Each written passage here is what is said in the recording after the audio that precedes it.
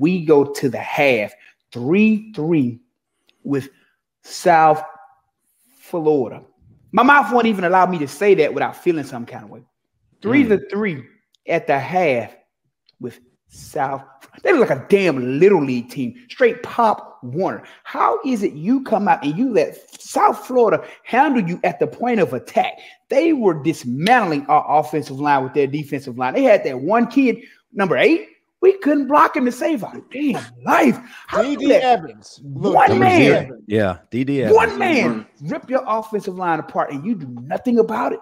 And the fact that we won the game 17 to 3, that that that's an overstatement to me because that last touchdown was a give me. Man, listen, man. If you don't have the balls to whoop a team like South Florida, we are in trouble. This is going to be exactly. a long season. And they always exactly. say, We're not those guys. You're damn right. Come on, man. Where's your pride?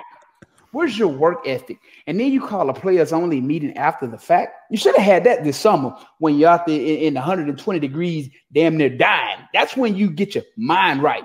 Not after you almost lose to South Florida. They had to announce to the world they're having a players only meeting. To be honest with you, I think they've done enough talking, enough attention to themselves. That's something that they need to do in private and they need to handle business because we've heard enough of the Sunday school responses every week, week after week.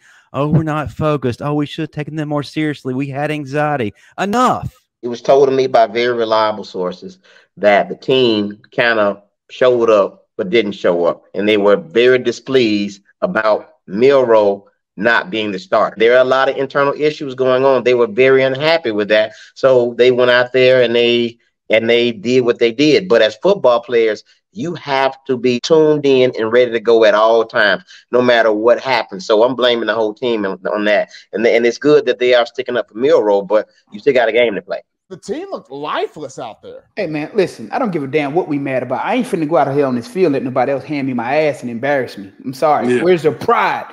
Pride. Exactly. You know the P word. You know, you know, pride. P R I D E, not P U. 嗯，嗯，嗯。